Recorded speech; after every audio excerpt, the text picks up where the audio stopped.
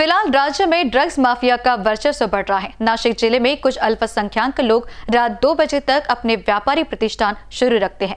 ऐसी की आड़ में ड्रग्स और एमडी जैसे चीज़ों का बेचा जा रहा है। यह कहना है विधायक नितेश रानी का, जिन्होंने आज सभागृह में इस मामले में गृह विभाग से कार्रवाई की मांग की है। रानी ने इस वक्त संबंधित पुलिस स्टेशन के पीआई पर कार्रवाई करने की भी मांग की है। उन्होंने इस मामले में हफ़्ता वसूली की भी शंका व्यक्त की है। आगे नितेश रानी ने क्या कहा, आइए देखते हैं।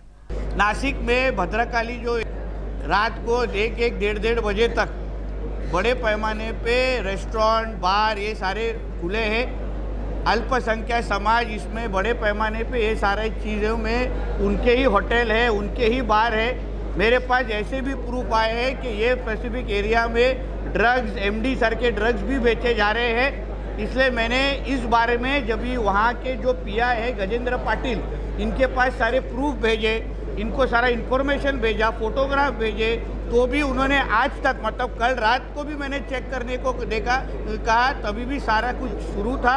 इसलिए मैंने आज सभागृह में पॉइंट ऑफ़ इंफॉर्मेशन के माध्यम से सरकार को ये निवेदन किया है, विनंती किया है कि एक तो ये सारे जो अवैध धंधे हैं ड्रग्स विक्स के जो जो बेचा जा रहा है, वो सारे के सारे चीज़ बंद हो जाए और ये जो संबंधित पिया है, इनके ऊपर कार्रवाई हो।